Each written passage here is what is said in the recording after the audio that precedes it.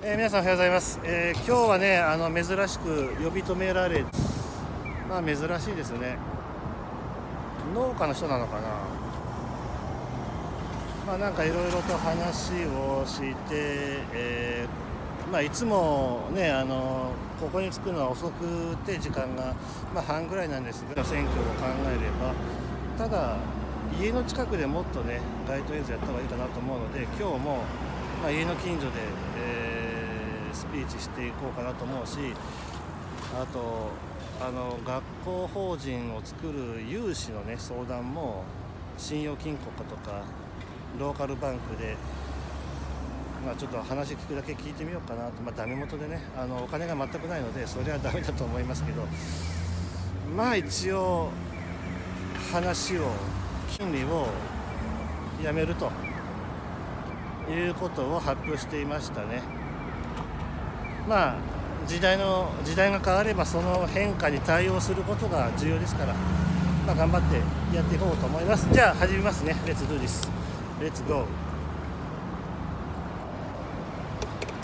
えー皆さんおはようございます、えーこちらは杉本修一講演会です、えー今日は珍しくあの呼び止められて20分ぐらいね話をしていました。まあ、たまに、えーこういったことがありますが、まあ、今日はトラブルではなかったのでね、あのーまあ、それでもそれで、えー昨日の夜、あのー知りました、えー2015年の前坂中学校がね最後になってしまったのは、まあ、残念だったと思いますけども、まあ、教育関係の、ね、仕事をしていたので、まあ、もし、えー地方議員になることができればもっとこう子どもの未来が明るくなるような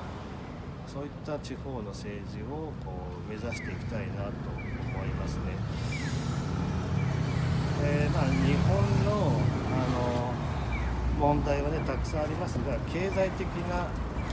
問題としてはもう潰さないような教育に最低限改革をねあのやっていきたいなとは思います。まあ、大体学校の教員も公務員ですからね、えー要は学校卒業して、えーそのまま社会人経験がなく楽な公務員になっているので、まあ、天狗になるのはねあの理解できますけどもまあ期待はできないかなと思います。えーまあ、子どもたちの未来がもっと明るくなるように、えー足元の、ね、改革から取り組んでいきたいかなとは確か過去5年間で6万7千人ぐらい人口が減っちゃっているんですよね、まあ、大体東京に人口が集まっていると思いますが、まあ、静岡が東京とね、あのー競って勝てるわけありませんから、まあ、幸いあの他の都道府県と差別化を図っていかないといけないし人口も底上げできるような魅力的なまちづくりをしていきたいかなとは思います。であの特に富裕層とか、えー起業家の人たちを呼び込んでいきたいし、えー子育て世代の、ね、人たちもこう増やしていきたいなとは思いますね。まあ、若い人たちが増えないと本当に街の活気も生まれてこないですからね。まあ平均賃金にもこう関わってくるのかなと思いますし、まあ、日経平均と経済とあとは日本人の給料この3つは大体あの連動にしてると思いますので、まあ、経済力が強い国の方が軍事力も強いですから、えーまあ、ということはそういった優秀な人材をねこう育てていかないといけませんし、まあ、世界中から優秀な人材をこう集めていくことが、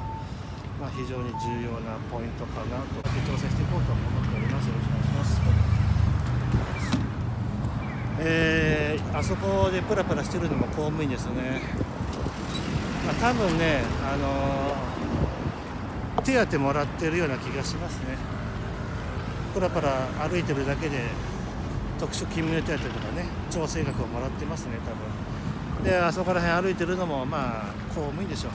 この時間なので当然遅刻ですけども。まあ日本市役所も県庁も毎朝100人以上遅刻してますからね。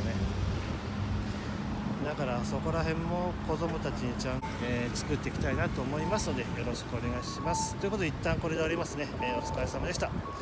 えー、Alright guys, thank you for watching、えー、Stay tuned, see you there いやな、バイじゃあね。